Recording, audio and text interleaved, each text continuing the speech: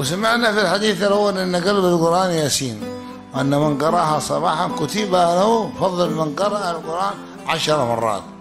وإذا قرأها في المساء كتب له ثواب من قرأ القرآن عشر مرات.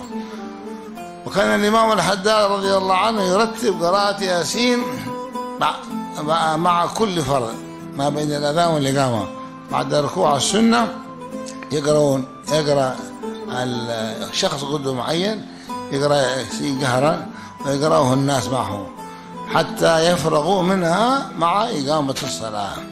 فأنت إن استطعت أن تقرأها بعد كل فرض أو مع كل فرض فهذا هو الأحسن. وإلا اقرأها حتى على مع بعض الفروض أو أحيانا أو على الأقل صباحا ومساء. سواء قرأتها غيبا أو نظرا كل ذلك سواء.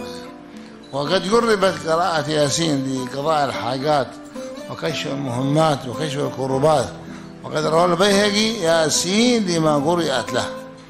فهذا كان عمل السلف لقضاء الحاجة يقرؤونها 41 مرة. لكن المشكلة الحضور والخشوع وقوة العزيمة. الشيطان ما بيخلي لك حال يا بيجيب لك يا أفكار يا نعاس يا نوم. ولكن بتبغى جهاد. إذا عندك عزيمة تغلبت على هذا الأشياء حينئذ ترى النتيجة ولكن فضل الله واسع.